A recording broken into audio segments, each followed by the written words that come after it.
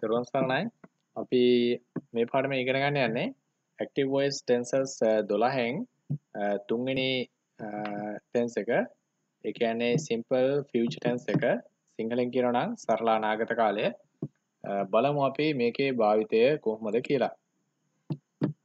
අනාගතේ කරාවියයි සිතන ක්‍රියා කීමට යොදාගැනේ. ඒ කියන්නේ මේ නොපැමිණි කාලේ ඉදිරියට එන්න තියෙන කාලේ කරන්න යන දේවල් නැත්තම් කරාවිය කියලා හිතන දේවල් ප්‍රකාශ කරන්න තමයි මේ කාලය පාවිච්චි කරන්නේ. කතරුට අනුව ක්‍රියා වෙනස් නොවේ. හොඳ පණිවිඩයක් නේද? සරල වර්තමාන කාලේ දෙන. ඒ කියන්නේ 12න් එකේදී නම් කතරුට අනුව ක්‍රියා වෙනස් වුණා. කතරු ඒක වචන නම් ක්‍රියාව ඒක වචනයි. කතරු බහුවචන නම් ක්‍රියාව බහුවචනයි. ඒ වගේ දෙයක් වුණා. simple past tense ඒ past past tense එකේදී ඒ කියන්නේ 12න් දෙකේදී එහෙම වෙනසක් සිද්ධ වුණේ නැහැ. 12න් 3 මේක ඒ කියන්නේ සිම්පල් ෆියුචර් ටෙන්ස් එක ඒකෙදිත් කතරුට අනුව ක්‍රියා වෙනස් වෙන්නේ නැහැ. බලන්න මේකේ නිදර්ශනය වර්තමාන කාලය අතීතය අනාගතය දැන් අපි වර්තමාන කාලය තමයි මේ ඉන්නේ නොපැමිණි කාලය තමයි මේ ඉදිරියට එන්නේ අපි මේ අතීතයේ ඉඳලා ඉදිරියට යන්නේ. ඉතින් මේ මෙතන තමයි තමන් ඉන්නේ. මෙතන කරාවියයි සිද්ධ වේවියයි කිරි කරාවියයි කිරීමක් වීමක් සිදුවීමක් තමයි මෙතන ඉඳගෙන ප්‍රකාශ කරන්නේ. මෙන්න මෙතන සිද්ධ වෙන දෙයක්. ඒකට බලන්න උදාහරණය මම යාවි පාසලට බසයෙන් නැත්තම් මම යන්නම් පාසලට බසයෙන්. මේ දැන් යන එකකුත් නෙවෙයි අතීතයේ ගියපු එකකුත් නෙවෙයි අනාගතයේ මම මේක කරන්නම් කියලා ප්‍රකාශ කරනවා. මම හිතන එක පැහැදිලි කියලා. වාක්‍ය රටාව බලන්න අංක 1 2 3 පිළිවෙලට මෙතන සුපුරුදු පරිදි අර ස්වර්ණමය නීතිය තියෙනවා. ඉස්සෙල්ලා ලියන්න ඕනේ කතරු පදය ඊට පස්සේ will එක ලියන්න ඕනේ නැත්නම් ක්‍රියා මූලය ලියන්න ඕනේ ඊළඟට will නැත්තම් ලියන්න ඕනේ shall කියන එක. මේ shall කියන එක දැන් ඒ තරම්ම භාවිතා වන්නේ නැහැ. will කියන එක පොදුවේ භාවිතා වෙනවා. ඉතින් මේ දෙකෙන් එකක් ලියලා ඊට පස්සේ ක්‍රියා මූලය ලියන්නයි තියෙන්නේ. ක්‍රියා මූලය කියලා කියන්නේ ක්‍රියාපදයට s එකතු වෙලා නැහැ. ඊට පස්සේ ing ෆෝම් එකතු වෙලා නැහැ. අතීත කරලා නැහැ. කිසි වෙනසක් නැහැ. ක්‍රියාව පිරිසුදු බිහි අවස්ථාවේ මෙතන ලියන්නයි තියෙන්නේ. කර්මයක් ලියන්නද මෙතන නවත්තන්න පුළුවන්. ලියන්නත් පුළුවන්. කර්මයක් a letter tomorrow she will write a letter tomorrow ඇය ලිපියක් ලියාවි හෙට. මේ දෙක එකක් ලියන්න ඕනේ මෙතන. උදාහරණ බලන්න. He will pass. ඔහු සමත් වේවි. He will pass. මෙතන i තිබ්බනම් වෙන්නම් කියන අදහස එනවා. ඊළඟට කතරු පදයේ he ඒක වචනයි. ඒක වුණා තිබ්බා කියලා මෙතන will කියන එකේ හෝ pass කියන එකේ හරි වෙනසක් සිද්ධ වෙලා නැහැ. will කියන එක දැම්මා ක්‍රියාමූලය දැම්මා. ඉතිරියක් ලියලා නැහැ. she will pass the exam. ඇය විභාගය සමත් වේවි. කතරු පදේ ඒක වචනයි. ඊට පස්සේ will කියන එක තියෙනවා, ක්‍රියාමූලය තියෙනවා, කර්ම පදේ තියෙනවා. ඊට පස්සේ මෙතන පොඩ්ඩක් වාක්‍ය දික් කරගෙන තියෙනවා. ඊළඟට I shall pass the exam next year. මම විභාගය සමත් වෙන්න ලබන අවුරුද්දේ. ඊට පස්සේ next year කියලා කාලය හංගවන පදයක් දාලා තියෙනවා. කර්ම පදයක් තියෙනවා. pass කියලා b ක්‍රියාමූලය තියෙනවා. shall කියන උපකාරක ක්‍රියාපදය තියෙනවා. ඊළඟට I කියන එකයි V කියන එකයි සමග මේ shall කියන එක බොහෝ විට පාවිච්චි වෙනවා. මේ මෙතනත් දාලා තියෙන බලන්න. V කියන එකත් එක්ක shall දාලා තියෙන අනිත් සියලුම කතරුපත් සමග will කියන එක පාවිච්චි වෙනවා. මේක වෙන මාරු නම් පස්සේ නිශ්චිත අනාගතයක් වෙන ඔන්න ඔයගේ අදහස් ටිකක් තිබ්බා. අතීතයේදී නම් වර්තමානයේ මේ වෙනකොට ඉංග්‍රීසියේ ඒක පොඩ්ඩක් තුරන් වෙමින් යනවා. ඒක පැරණි රීතියක් හැටියට සලකන්න පුළුවන්. ඒ තරම් ගණන් ගන්න දෙයක් නැහැ. සියල්ලටම will දාලා ලියන්නකෝ. එතකොට හරි. ඊළඟට I shall pass the exam next year. මම විභාගයේ සමත් වෙවි. ලබන අවුරුද්දේ. We shall come to meet you tomorrow. අපි එන්නම් ඔයාව හම්බ වෙන්න හෙට shall come to meet. ක්‍රියාපදයක් දාලා තවත් ක්‍රියාපදයක් දාලා වාක්‍ය දික් කරගන්න පුළුවන්. tomorrow හෙට දවසේ. බලන්න පොරොන්දු හා බලාපොරොත්තු ප්‍රකාශ කරන්න මේක පාවිච්චි කරනවා. I will always help you. මම තිස්සෙම මම නිතරම ඔබට උදව් කරන්නම්. පොරොන්දුවක්. නිතර මම ඉන්නෝනේ බය වෙන්නේ මම ඔයාට උදව් කරන්නම්. always කියන එකක් දාලා තියෙනවා. මේක ඇඩ්වර්බ් එකක් ෆ්‍රීකවන්ස් ඇඩ්වර්ස් ඔෆ් ෆ්‍රීකවන්ස් කනට අයත් වෙන එකක්. ඒක අපි ඉදිරියට අධ්‍යයනය කරන ගැටලුවක් කරගන්න එපා. Uh, කතුරු ලිව්වා විල් එක ලිව්වා හෙල්ප් කියන uh, උපකාර uh, ක්‍රියා මූලය ලිව්වා. ඊට පස්සේ ඉතිරිය ලිව්වා. I will help you. මම ඔයාට උදව් කරන්නම්.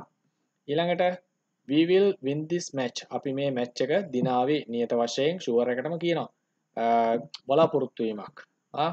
We will stay for dinner. අපි ඩිනර් එකට නවතින්නම්කො ඉල්ලන ඉල්ලන. ඉඳලා කෑම ටිකක් කාලා යන්න අපි කියනකොට මේ විදිහට කියනවා we will stay for dinner. අපි රෑ කෑමට නවතින්නම් පොරොන්දුවක් වගේ දෙයක්. ඊට පස්සේ I will do it tomorrow. මම මේක හෙට දවසේ කරන්නම්. පොරොන්දුවක්.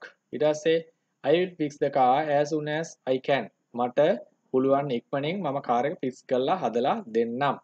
I will give you your money tomorrow. මම ඔයාට ඔයාගේ සල්ලි දෙන්නම්. ලා හෙට. ඊට පස්සේ පොරොන්දුවක්. I shall repair your computer next month. මම ඔයාගේ කම්පියුටර් එක ලබන සති මාසයේ වෙනකොට රිපෙයාර් කරලා දෙන්නම්. දැන් මේ shall කියන එකයි will කියන එකයි පොදුවේ භාවිතා වෙලා තියෙන ඒ ගැටලුවක් කරගන්න එපා. නැවත නැවතත් කියන ඔයාලට. ඊට පස්සේ ක්‍රියාමූලයේ මේ නිතරම පාවිච්චි වෙලා තියෙන්නේ. රටාව පැහැදිලි කතුරු ලිව්වා. ඊට පස්සේ උපකාරක ක්‍රියාව ලිව්වා. ක්‍රියාමූලය ලිව්වා.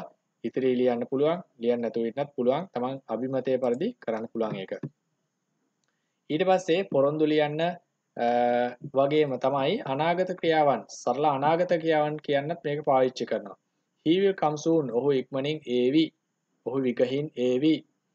They will dance uh, all night long. ඒ කට්ටිය නටයි රෑ 30ෙම ඊට පස්සේ he will eat in 10 minutes. එයා කාවි මිනිත්තු 10කින් අනාගත ක්‍රියාවක්. You will see him in in a minute. Uh, ඔයාට ඒවා එයා හම්බ හම්බ වේවි නැත්නම් දකින්න ලැබේවි මිනිත්තුවකින්. තවත් උදාහරණ බලන්න. He will start a business. එයා බිස්නස් එකක් ව්‍යාපාරයක් ආරම්භ කරાવી. uh, she will send me a letter. ඇය මට ලිපියක් එවා එවාවි.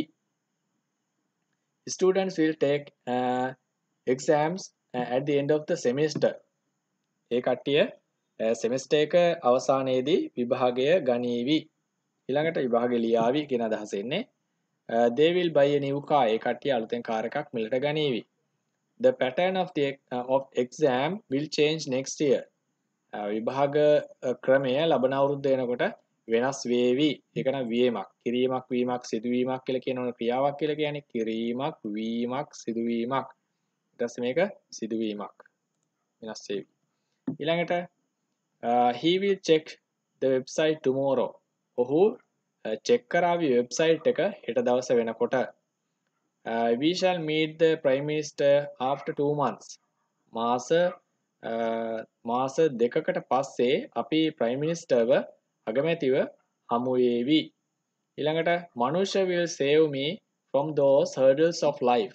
මනුෂ්‍ය මාව බේරගනීවි රැකගනීවි ආරක්ෂා කරાવી ජීවිතයේ ඒ මේ මේ කරදර කම්කටොළු බාධා වලින් පීඩා වලින්. He will teach me a lesson. Teach me the lesson. ඔහු මට විභා පාඩම කියලා දේවි. Will teach. She will sit on the chair definitely. එයා ගෑන් එයා ඇය වාඩි වේවි පුටුවේ පුටුවේ නියත වශයෙන්ම ෂුවර් එකටම පුටුවේ වාඩි වේවි කියන්න පුළුවන් මේ වගේ වාක්‍ය. සරල අනාගත කාලේ. ඉතින් මං හිතන වාක්‍ය රටාව පැහැදිලි කියලා. හරි සරලයි. අතුරුපත් සමග විල් එක දාලා ක්‍රියාමූලය දාලා වාක්‍ය හදන්නයි තියෙන්නේ. අනාගත කාලවාචී පදත් මෙන්න මේ විදිහට හදාගන්න පුළුවන් දාගන්න පුළුවන් ඔයාලගේ වාක්‍ය වලට වාක්‍ය ලස්සන කරගන්න පුළුවන්. කාලය හංගවන පද. tomorrow කියලා කියන්නේ හෙට. ඒක දැම්මොත් මේක අනාගත කරගන්න පුළුවන්. ඊට පස්සේ the day after tomorrow ඒ කියන්නේ අනිද්දා. ඊට පස්සේ next week ලබන සතියේ next month ලබන මාසයේ next year ලබන අවුරුද්දේ next term ඊළඟ term එකේදී next summer ඊළඟ summer එකේදී tonight අද රැට වාගේ මේ වගේ පද දාලා මේ next කියන එක දාලා next december ඊළඟ december decemberේදී next වෙසක් ඊළඟ වෙසක් එකේදී ඒ වගේ හදාගන්න පුළුවන්කම තියෙනවා. ඉතින් මම හිතනවා පැහැදිලි කියලා පාඩම මෙන්න මේ ටික ඔයාට චැලෙන්ජ් එකක් ඇටියට මම දෙන්නම් පරිවර්තනය කරලා කමෙන්ට් සෙක්ෂන් එක ලියන්න. වැරදි තිබ්බත් මම ඔයාලට කියලා දෙන්නම්. හරිනම් තමන්ට සතුටු වෙන්න පුළුවන් නේද? ඒකත් අභ්‍යාසයක්නේ. මම ඉගෙන ගනීවි දෙමළ. නැත්නම් මම ඉගෙන ගන්නම් දෙමළ. ඉගෙන ගන්නවට learn කියලා කියනවා. දෙමළ වලට tamil කියලා කියනවා. learn. ඊළඟට අපි හමු වෙවි ලබන වසරේ. ලබන වසරට කියලා කියන්නේ next year. හමු වේවි කියලා හදන්න. ඔහු උදව් කරાવી අපිට. අපිට කියන්නේ us. ඇය ඒවි පන්තියට ලබන ඉරිදා next sunday ලබන ඉරිදා මේ ටික ලියන්න පල්ලෙහා කමෙන්ට් සෙක්ෂන් එකේ ප්‍රැක්ටිස් කරන්න ප්‍රැක්ටිස් and ප්‍රැක්ටිස් සියලු යහපත ප්‍රාර්ථනා කරනවා නැවත පාඩමකින් හමු වෙමු. ත්වන් සරණයි.